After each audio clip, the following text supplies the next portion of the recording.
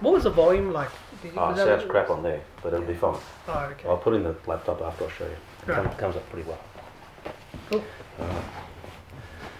Hi everyone, welcome to another edition of uh, Big Think TV. Today I'm talking to Gavin Sakira. Gavin is our guest speaker at our next meetup event, which is coming up just in a couple of days on the 17th of June, Wednesday, 17th of June. Um, and Gavin has just released a brand new book, which I'm holding here. Never been seen before, but we're really looking forward to hearing more about the book and hearing you speak, Gavin, on Wednesday. Um, tell us a little bit about the inspiration for the book and I guess what we can expect from you on Wednesday night.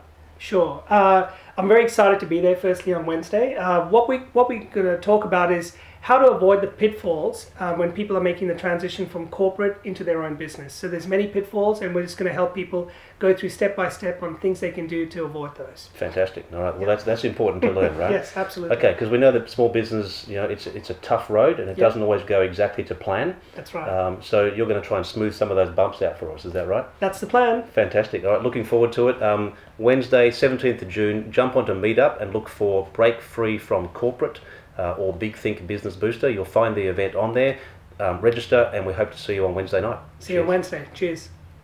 Beautiful. Perfect. That'll do. We've got a couple. I reckon that's good. Out of those, yeah. we'll find something. Yeah, because it's just a, a little promo. Yeah, yeah, Yeah. that's cool. All right. But we'll do. We'll, we can always do it. we'll do more we'll detailed ones yeah. later. Yeah. And we can then. when I get more comfortable with being on video, because at the moment I kind of go, ah, fuck, I hate video. That's okay.